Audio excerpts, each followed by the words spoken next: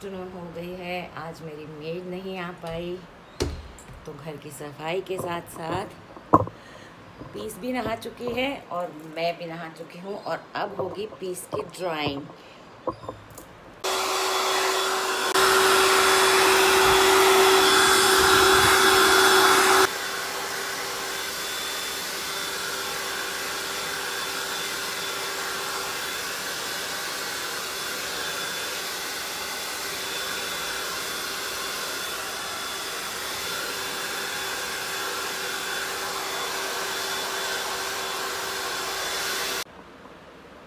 तो मेरे बाल ड्राई हो चुके हैं, आप लोग जानते हैं, मैं टॉवल ड्राई ही करती हूँ।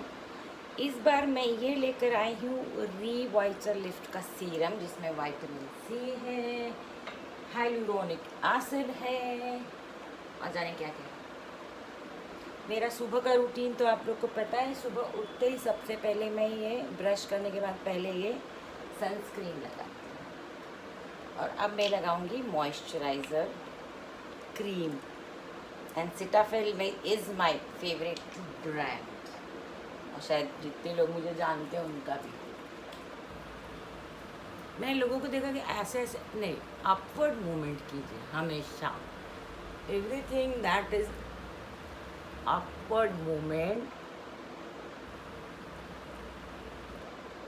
is correct ये मैं फेशियल वगैरह कभी कुछ करती नहीं है, देखिए थोड़ा अभी पीला होने तक आ गया है, जो मुझे लग गया था।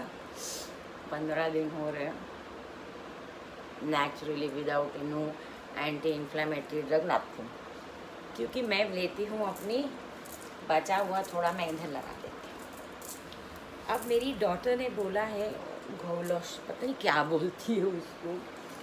तो उसने मंगाया तो मेरे लिए भी मंगाया जेड का ये रोलर फेशियल रोलर तो मैं करती तो हूँ ऐसे।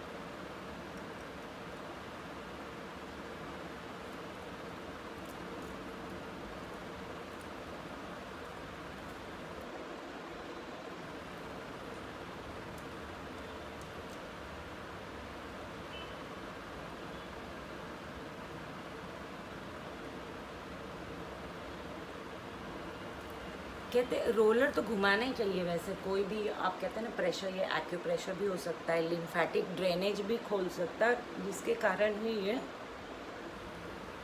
आपके स्किन का टोन रखता है। वैसे आप जो खाते हो, वही बनते हो। तो मेरी स्किन का और मेरे कोई रिंकल्स ना होने का राज है, मेरा फास्टिंग मेरा वन मील डे मेरा keto diet and lots of collagen तो ये आँख के लिए है। अगर आपके आँख के नीचे पफ है ऐसे, या ये मेरा तो जो लगा था मार उस लिए है। तो आँखों पे कीजिए, यहाँ करते कि नहीं मुझे पता नहीं, करके देख लेते। गलत होगा तो कोई ना कोई करेक्ट कर ही देगा। पर I think the principle behind this is stimulation of circulation. है ना? एक्यूप्रेशर सेल्फ एक्यूप्रेशर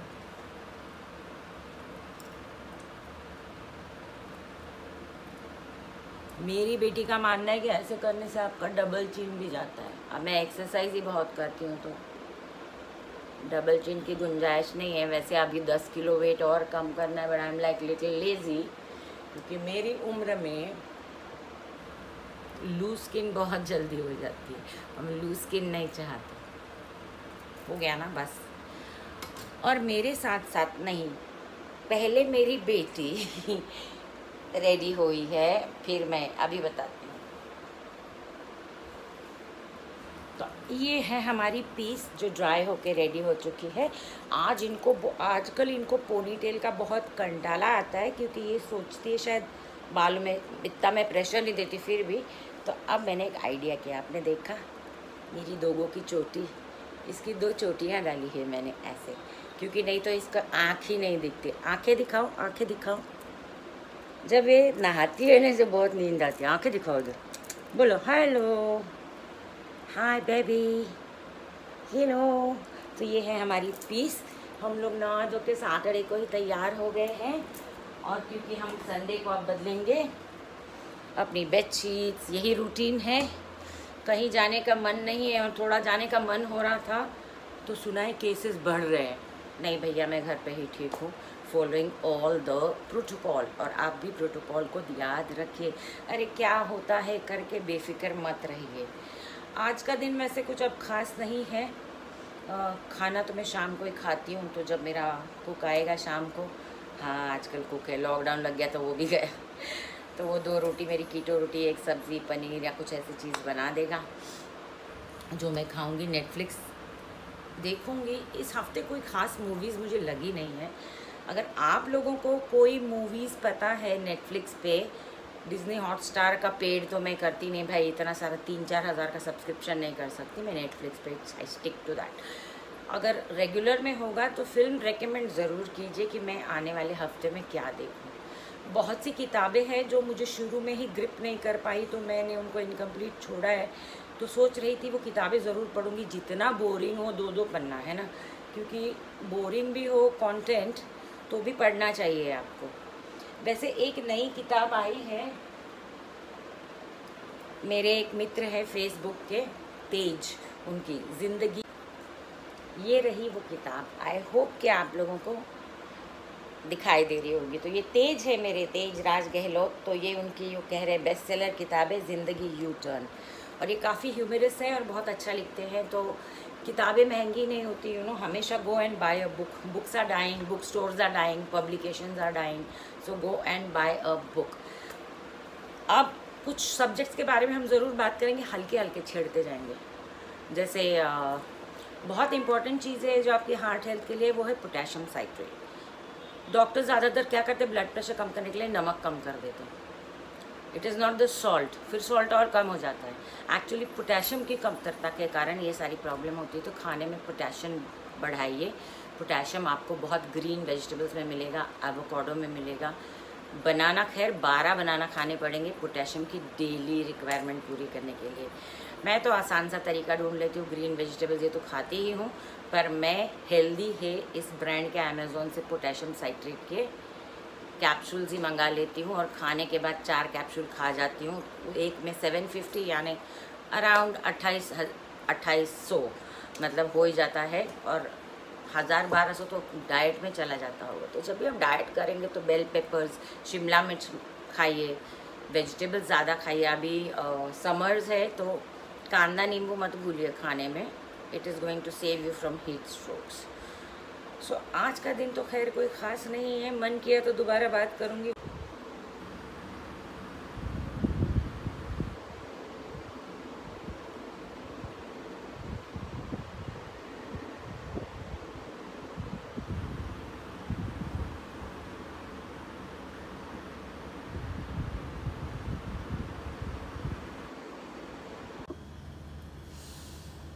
जैसे कि आपने देखा कि मैंने अपना मेडिटेशन भी कर लिया है, शाम होने को है थोड़ी थोड़ी भूख लग रही है, जो मैं करती हूँ, इसको कहते हैं इंटरमीडियंट फास्टिंग यानी कि तकरीबन 20 से 21 घंटा मैं इंटरमीडियंट फास्टिंग करती हूँ। सिर्फ़ एक कप कॉफ़ी या ग्रीन टी ऐसे कुछ उठने के बाद लेती हूँ और हल्दी वाली चाय एंड दैट्स इट और ये मुझे चार साल में आदत हो गई है, और क्यों?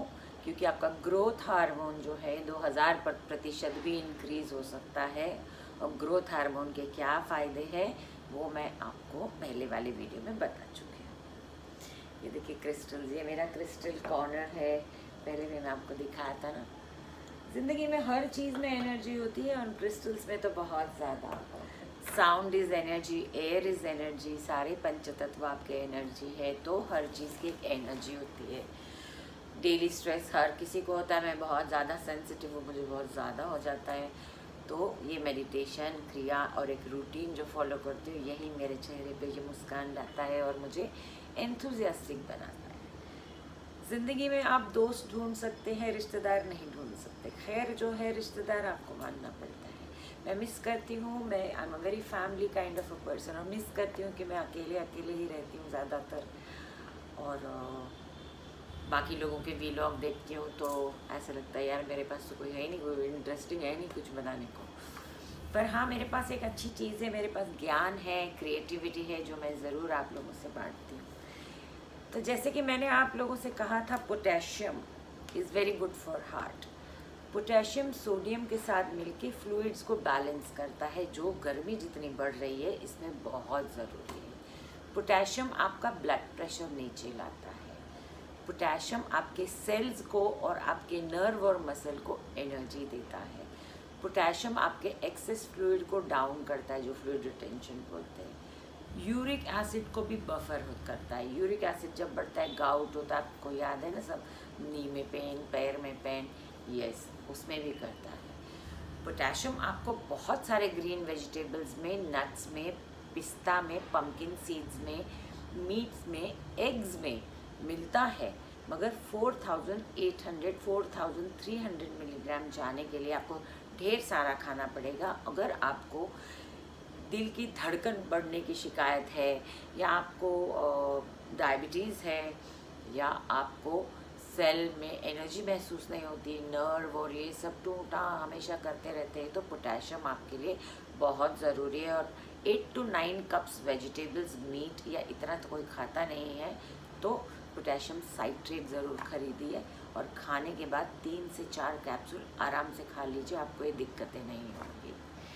दूसरा इम्पोर्टेंट तत्व है हमारा बी वन बी वन को कहा जाता है नर्व का विटामिन तो बी वन क्या करता है?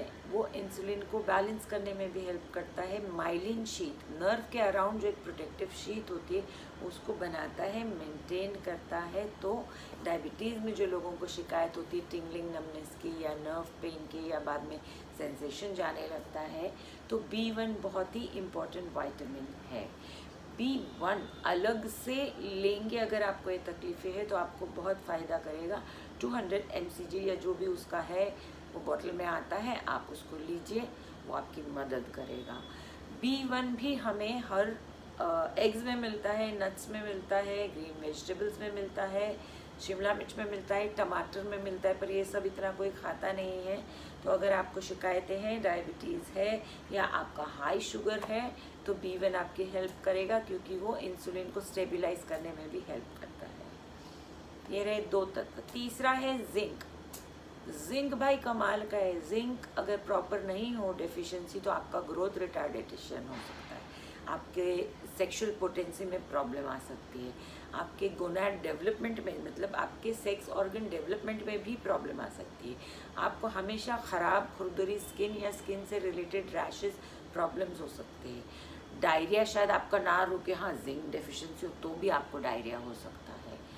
तो इतने सारे इंपॉर्टेंट है कि आपके अगर वुंड्स जल्दी हील नहीं हो रहे, वो भी जिंक डिफिशियंसी जिंक भी आपको पम्पकिन सीड्स में मिलता है एग्स में मिलता है वेजिटेबल्स में मिलता है, लेकिन अगर डेफिशिएंसी हो तो जिंकोवेट या जिंक जिस भी फॉर्म में मिले, उसको 30 से 50 मिलीग्राम डेली आफ्टर फ़ूड लीजिए, आपका ये आपको फ़ायदा करेगा। और तीन महीने तक कोई भी विटामिन लेना चाहिए सिम्टम्स कम होते हैं तो ऑल्टरनेट डे कीजिए, फिर दो एक दो महीना मत लीजिए, अपना ओवरऑल हेल्थ मेंटेन कीजिए। फिर आपको अगर लगे तो दोबारा लीजिए तो ज़रूरी नहीं की बात है। इसके बाद है सेलिनियम।